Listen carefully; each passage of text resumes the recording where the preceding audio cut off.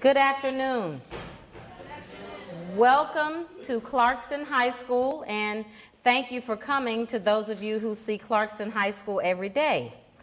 It in, is indeed a privilege to be here. We thank you that you have taken time out of your schedule to attend and we thank our uh, Beyond members and mentors. Thank you for taking time out of your schedule to be here. This is an example of true collaboration. And when I say collaboration, I mean the ability for different groups of people to work together for a common goal. And so this started a couple of years ago where we wanted to provide community members who were established but who were familiar with our community to be able to reach back and to touch those members of the current community, our youth. And what better place than Clarkston High School? And so Ms. Shawnee Hall, our post-secondary transition specialist, was very instrumental in working with our organizations. Um, Coach ATN was very instrumental in working with um, members of our community to talk about the good things that were going on at Clarkston High School. Now, I must give a shameless plug because right now, in this very moment, our Clarkston High School boys and girls cross country team are competing for the state championship in 5A. And I am waiting eagerly for them to announce that we have won that state championship for not the first time, not the second time, but for the boys the third time. And so our girls continue to advance, and this year they were third at state, and our boys were ranked first for state. So we plan today to be celebrating not just collaboration, but also a victory. But again, I want to thank everyone who is here, and I would also like to thank the Clarkston High School faculty who support all of the activities here, and we work usually seven days a week, to make sure that you all have the very best. And really listen carefully today, ask good questions, because we have brought to you the very best. And so I want to thank U-Beyond for giving of your time, your talent, and your treasure to support the work that we're doing here at Clarkston so that you all students can be sitting where they are and reaching back to mentor future generations as well. Thank you very much. At this time, I would like to turn it over to Dr. El Rahib, Rahib to give brief introductions. And again, enjoy your day.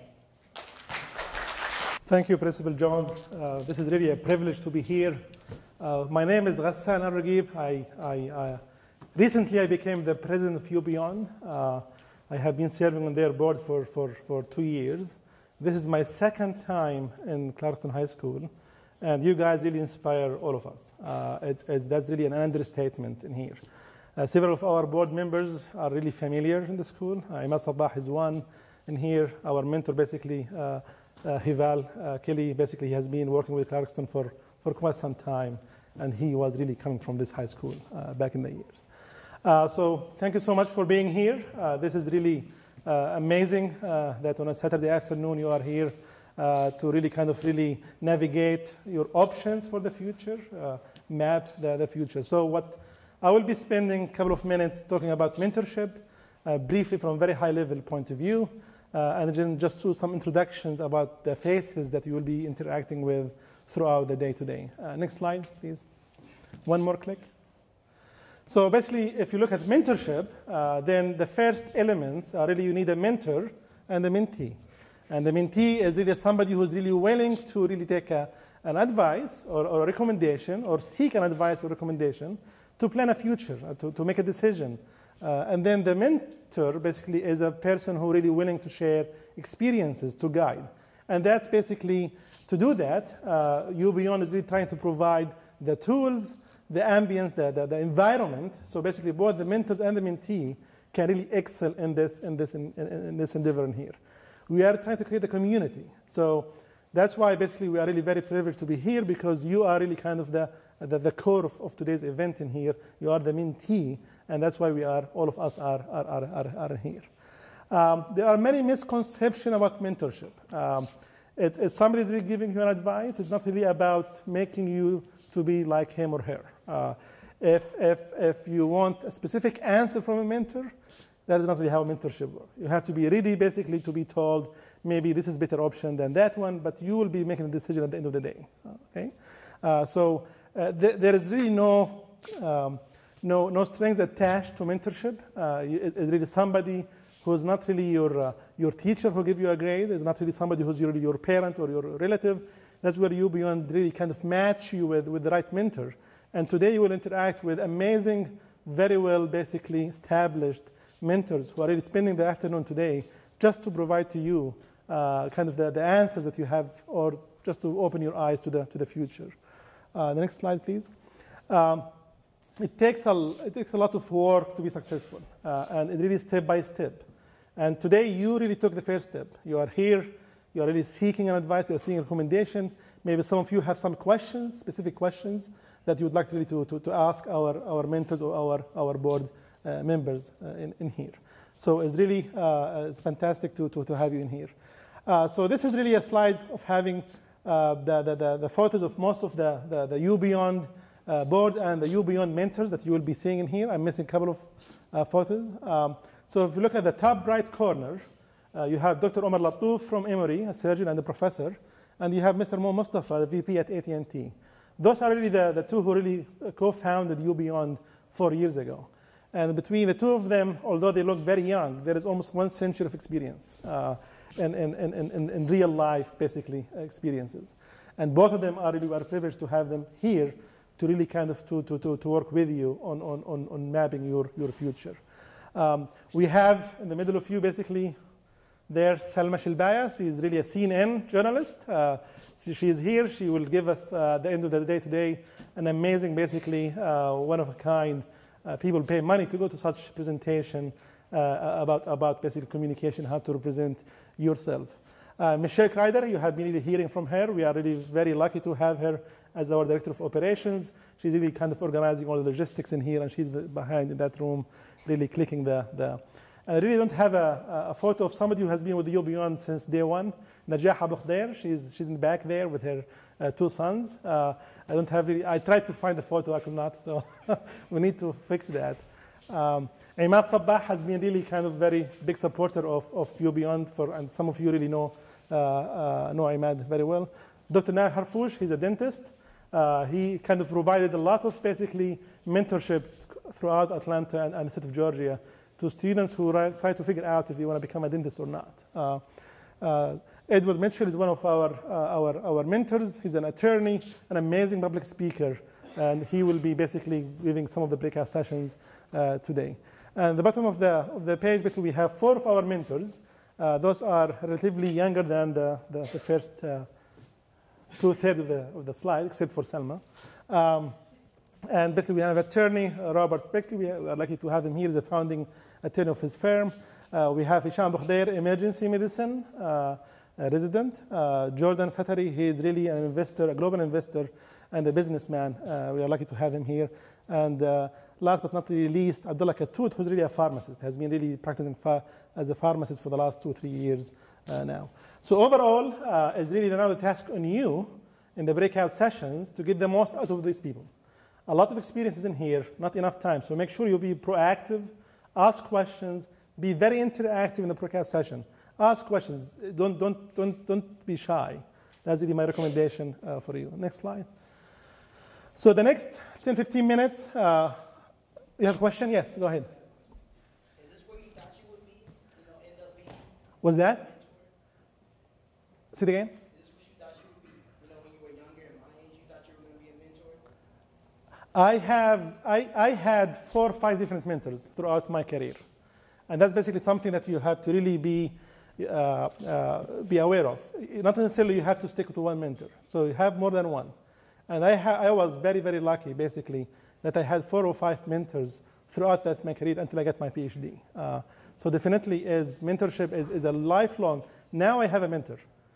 Dr. Omar Lattouf, basically, uh, he has been practicing surgery for the last 30 plus years. He has a mentor too, and he is also a mentor. So it's a lifelong process. Uh, it's, it doesn't really, it's not only for the young, uh, but, but you have to start early in your life. Um, so I, am really very privileged to, to introduce the co-founder and the chairman of the board uh, of U-Beyond, uh, Muayyid Mustafa, and he will be kind of giving you, share with you the, the, the long uh, experiences that he had uh, experienced throughout his, his career. So let's give him applause, please. Well, good afternoon. So, you guys are pretty special, right? They tell me there, there are about 1,500 students in Clarkston, right? And there's probably about 50 of you here, right? So, what makes you so special, right, is just that. You're interested in your you're interested in your development, growth, right? So that is one of the biggest first steps you take for to, to grow, right? So this is, uh, this, um, and I want to applaud you for that. You guys are on the right track. You know, I asked my daughter if she wants to come, to, to come with me this morning, and she said, uh, she said, I don't like podiums though. You're going to cage me in this? I, I, I move, I move my hands and stuff, right? So, uh, so you'll see some of those things, you know. but, you know, she said it was 10 o'clock. I mean, was, she told me what time it was. I said, well, you got to get up at 7. She said, no, no. I want to sleep, right? So you guys are, are, are, amazing that you actually showed up for this event. Um, so I applaud you for that. What color are these pants? Okay, so I got a story to tell you about that. So um, this is my story. And there are 10 things that I learned as I took this journey that brought me up to this point in time. I am a vice president of AT&T. I have a had managed budget to $4 billion. That's with a B. If I say it, I guess, fast enough, it, it makes it, you know, small budget, right? With a B. I have about 5,000 technicians that work in my organization. I do all of the video and broadband, all the way from your, uh, you know, the gigapower fiber, the stuff that you see in your neighborhoods. We do that. We do the cell phones and all of the stuff that you guys use of AT&T. I, I'm the operations guy for that, right? Now, if you're not a customer of AT&T, I'm going to I'm to have a conversation with you after this talk, but, but, uh, but, uh, um, you know, we have DirecTV and so on and so forth. So that's, what, that's what I do for living, right? I also have a passion about sharing my experiences with young folks like that. I wish I had somebody like that that actually paid it forward for me and drug me along as they were on their way up. I did have mentors along the way, but I never had this opportunity when I was your age. So if we go to the next slide, this is me in the middle. I was, uh, I was born in Kuwait to Palestinian parents. I have never got out of Kuwait till I came to the United States. So at the age of 17, I've never been on a plane. I got on a plane and got from that picture to the right, that's Kuwait. You see a tree? No. There are no trees there, right? So I got on this plane, it's Kuwait Airline to London. I've never been on a plane before. Never been on a plane before. I didn't know what to expect. So I had to change planes, and then 11 hours later on this other plane, Pan Am, and this is no longer in business, right? Got me all the way to Seattle, Washington. Now I get out of that plane. Now my last image is that picture to the right, up and to the right. That was my last image of the world. I get out of that plane and I see what? I see that, that you know, look at that. And I thought, well, I, this must be what they talk about when they talk about heaven. This, it's got to be heaven right there, right? So hell, heaven, right? I mean, I, so that, that kind of put it into perspective for me. See, I walk into an area where it's just not just different, it's really different. I mean, everything looked different. Green, where I've never seen a green, the trees. And I, I come in, and, and this, is, this is me in the middle. So if we go to the next slide, there are there are 10 things that kind of, the lessons that I picked up in my life that worked for me. There is a story behind each one. I don't have enough time to go through that, but I'll be happy to to talk to some of these stories in our mentorship session, uh, in our breakout session. So the first one is you can't aim high, I mean, you can't aim low and expect, expect high results. You gotta, you gotta aim high. You gotta have big, hairy, big, audacious goals to go after. Challenge yourself, right? And I had those experiences where, you know, there are a lot of folks that, you know, they will tell you, well, you know, why bother with school? Why don't you just be a waiter? Right? Why don't you be a chef? Why don't you be this? There's nothing wrong with that, right? But what are you set your eyes uh, on, right? What are the big goals you want to go after? They got to be realistic, right?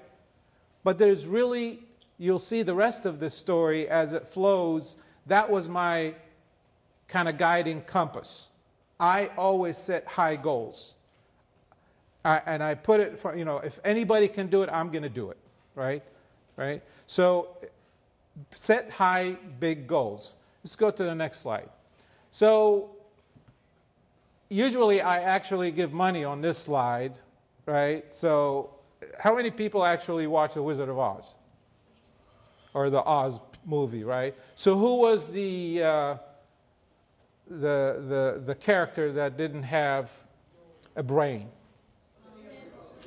Scarecrow. I don't have enough money to, to give all the right answers because that's the right answer, right?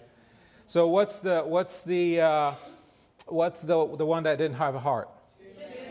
Tin Man, right? And the one that didn't have a that didn't have a heart, uh, that didn't have a uh, that didn't ha- that didn't have guts, I guess. That was that was afraid, right?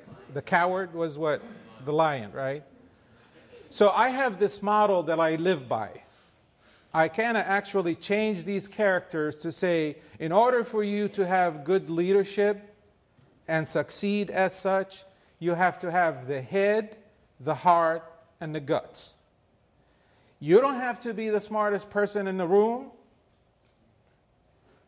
to be, to be successful. You don't have to be, right? But you have to have enough good critical thinking skills for you to be successful. You don't have to eh, eh, the, the, other thing that you have to have, you have to have a passion about what you're going to do. If you don't have the passion about what you want to do, it's kind of, you know, and you have to like people. You have to actually care about people, right? That's the heart piece. And then the guts, you have to make some tough decisions. What is tough decisions? There are a lot of decisions you make day in and day out. You can take the easy way out and you can make the tough ones, right? You made a tough decision by coming in today. So that's why I said I applaud you for that. Let's go to the next slide. How many people played Scrabble? Good, good, good. Is it online? Is it, a, is it an app? I, I didn't keep up with that. But you know, when you put quit on the board, you get a lot of points, right? With the Q, right? It's got a lot of points. But quit, quit is only for Scrabble. It's not for real life. You can't quit. You can't sit on the nail. You got to come back at it. If life dishes you stuff, you got to come back at it. You can't quit. And by the way, what I'm describing to you so far is what worked for me. Different things may work for you, but those are the 10 lessons that I picked up on as I went through my journey. You just don't quit. Right? And quit is only for Scrabble, not for real life. So take, keep that in mind If we go to the next slide, this is something that worked for me. So I'm going to stop here and tell you the story about the yellow pants. Because your vocabulary matter. People actually determine your level of intelligence by how you speak. I didn't make up the rules. That's just the way it is. Right? So I come here at 17 years old and I've never been outside of Kuwait. You saw the picture. And I only knew that I'm supposed to get out of the plane, get in a taxi, had a couple of nickels in my pocket, right, to make phone calls to the school where I'm going so that they can come pick me up from downtown Seattle. So I managed to do all of that and get to the hotel, and I put this nickel, and it was nickel at the time, right? It's not, I mean, you, we don't even have payphones these days, right? So I, put, I managed to put a nickel, and I called Seattle University, and I said, I'm here, come pick me up. So for me to go to the dorm, where, where you know, the school. So they asked me a question. She said, So what, what are you wearing? I said, Yellow pants. Silence at the other side of the, you know, the, the phone and says, You're wearing what? I said, Yellow pants. I said, Okay, we'll be right there. So I sit there for two hours, three hours, waiting on these guys to come pick me up. And then I decided, well, they're not here, I better call again. So I put another nickel in there and call. I say, hey, no, nobody came to pick me up. When are you guys going to show up? He says, well, the guy has been there, but couldn't find you. Why don't you take your stuff outside and wait? And this is downtown Seattle. I mean, it's a 17 year old kid in downtown Seattle. It's, you're really looking for trouble. It was about to get dark. So I'm here with my bags standing outside, and these, this guy comes in and says, you know, after I see him going around the block, right? So finally, he just decided to come and ask this kid, you know, what, are you waiting for Seattle University pickup? And I said, yes. He said, so what color are these pants? I said, yellow. He said, no, they're not, they're blue. and this is the guy who was supposed to evaluate me where to put me in the English level. So sufficeless to say, right, I, he put me like the first level. There are 10 levels. They put me like at the bottom. It's like he can't speak English, man. So, so I tell people, you know, here's a kid that came here, didn't know yellow from blue. I'm not colorblind, by the way. I actually know the difference between, I didn't know the difference between blue and yellow. So what's your excuse? Your vocabulary matter is what reminded me of that story. Your vocabulary matter. People actually look for the way you speak. They determine your intelligence by the way you speak. I didn't make up the rules. That's just the way it is. So your vocabulary matter. I, I actually live by, and I, I share this with all the kids that I actually talk to. Performance or success is equal to your ability times your motivation or desire times your support, uh, the support you get. I don't care how smart you are. If you don't have passion for what you want to do, you're not going to be successful. If you're smart and passionate, but people don't give you the support you need, that's where mentorship comes in, or money, or cars, or tools, or whatever. If you don't have that support, I don't care how good and smart and passionate you are, you're not going to succeed. All three must exist in order for you to be successful. Right? And it's a multiplier. Any one of these zero, you get a zero success. So think about those performance, ability, desire, or motivation, and the support. And you got to get all three in order for you to be successful. Let's go to the next slide. Surround yourself with tens. That's tens meaning 10 out of 10. 10, score 10, meaning, you know, show me who your friends are and I'll show you if you're going to be successful. If you surround yourself with twos and threes and fours, you're going to get two or three or four type of surroundings. Surround yourself with the best. And if you show me who your friends are, I can pretty much tell you if you're going to be successful or not. Let's go to the next slide. Get a mentor. We talked about that uh, already. Let's go to the next slide, Michelle. Your reputation matters. This is really what makes makes us or breaks us most of the time. Your reputation matters. What are you known for? What are you known for? What's your brand? What are you known for? You got to be known for something, right? You got to have some kind of a brand that makes you special, right? You can't be just another face in the crowd. What are you known for? Let's go to the next slide. Be ethical and have integrity. I have, I have seen people that if they don't live by this, you can fool some of the people some of the time, but can't, you can't fool people all the time. If you're unethical, if you don't have the sense of integrity, you might as well fold it because you're on the wrong track. You're on the wrong track, right? But this is very critical for your success. And that's what worked for me also. Let's go to the next slide, please. Use your ethnicity as a strength. You know, that we have uh, Friedman, which is the, the futurist and so on. He, he comes and talks to us, uh, uh, uh you know, in, at AT&T, and he says, he tells us, think like an immigrant. Now, why does he say that? Why is, why is he saying think like an immigrant?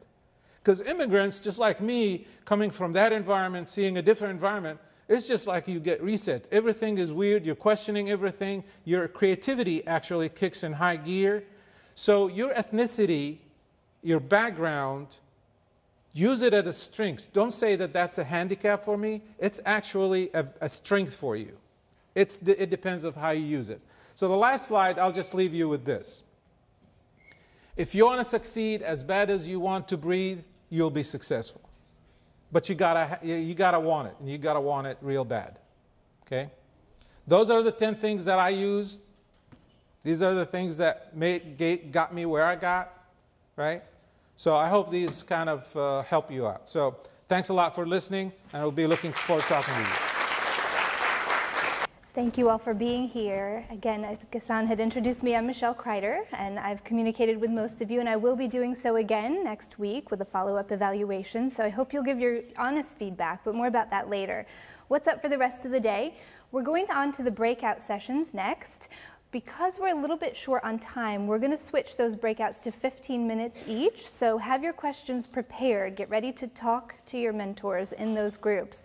So the only change we have from your paper program with the listing of the breakouts and the room numbers, the law workshop is going to meet in room 27 instead of the ROTC room, but all of the rest of the rooms are correct. So STEM is going to stay here in the auditorium. So what will happen is as soon as everybody gets in place, we'll meet for 15 minutes, and then the mentors will stop and allow you to change to the next breakout session. So have the ones you prefer in mind and get ready to switch. And then after 30 minutes of two different workshops, we'll come back to the auditorium for our next presentation. Any questions? Okay, let's go.